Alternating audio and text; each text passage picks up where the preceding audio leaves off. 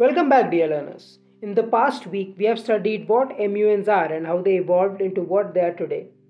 We have also identified a few common rules followed in these conferences, which are rooted back to Robert's Rules of Order. This week, we will dive deeper into understanding how model UN conferences really function by understanding their elements, stages, and operations, and exploring them through various types of rules of procedures followed all over the world. Model UN conferences derive their procedural framework and rules from the Roberts Rules of Order, the actual UN procedures, and general norms of formal conferences. They use the rules and accepted norms from these mentioned sources and modify them to suit the needs of United Nations simulation. In this session, let us try to understand the latter, the general norms of formal conferences that are adopted by model UN conferences. Speaking Speech at any Model UN conference should be formal, diplomatic, and in third person. They should focus entirely on the topic at hand, both in formal and informal procedures. One should never personally attack one's fellow delegates or the committee dais members verbally or otherwise. There can be diplomatic and formal kinds of exchange between the delegates that can be sarcastic or accusatory in nature, but that should be restricted to the matters related to one's portfolio. It should be remembered that one represents their allotted portfolio and thus one's actions, words, and behavior should focus on most accurately representing their portfolio. While representing a portfolio, one needs to keep one's personal beliefs and political ideologies away from their speech and behavior in the committee and focus on representing the ideals of their portfolio accurately. To reflect this impersonal nature of affairs, the speech during formal MUN procedure should always be in third person. One should refer to themselves and other delegates through the names of their portfolios without using any personal pronouns, and this stands true for speeches, motions, yields, points, and questions.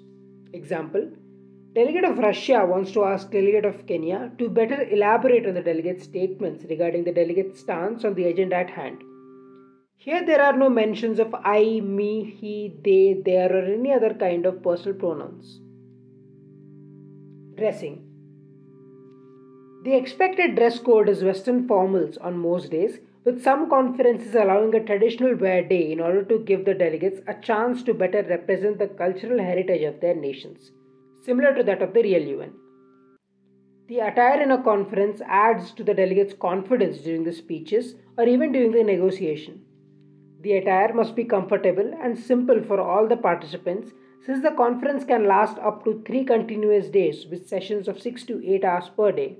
And in such situations, an uncomfortable or heavy attire can become a bane for the participant. Conversing In the formal committee sessions, there should be no direct communication between delegates. All attempts to verbally communicate to another delegate would be referred to as crosstalk, which is highly discouraged and perceived in the bad light by the committee dais members.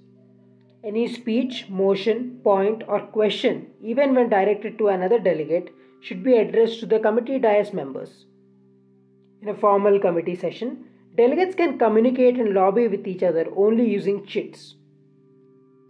The delegates can directly communicate and refer to each other in the first person only when the committee moves into a lobbying session, such as the unmoderated caucus or the informal informal session. Committee dais.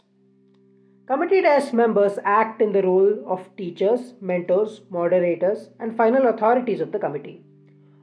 Although their role in the committee is limited in the committee matters and content, their role as committee moderators in monitoring and directing the committee procedure should be respected.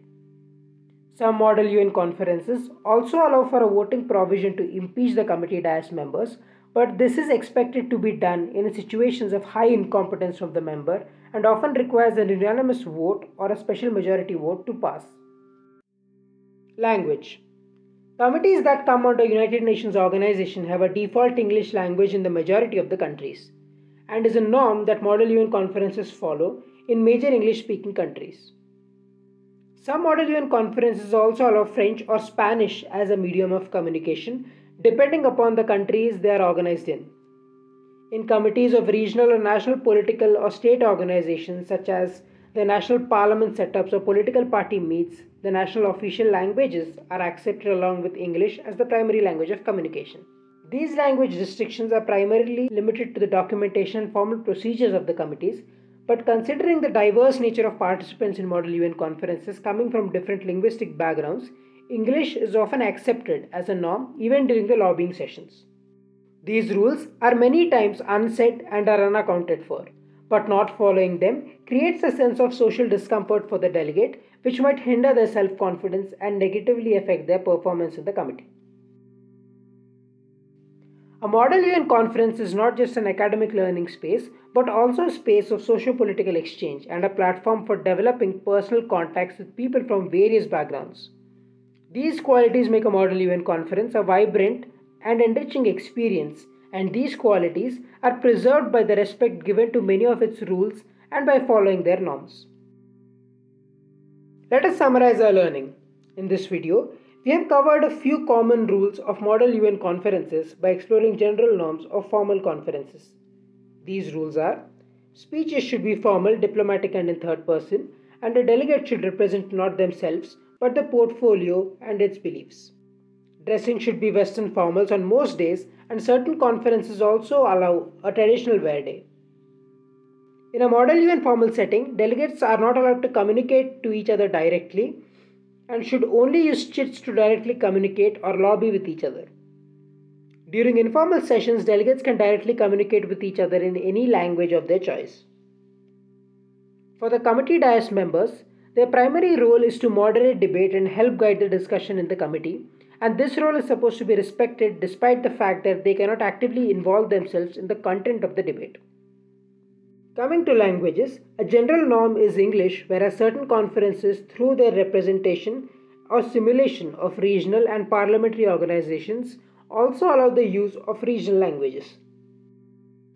In our next module, we will explore the three widely recognized Model UN rules of procedures from around the world and explore the various phases and stages of Model UN conference. Thank you.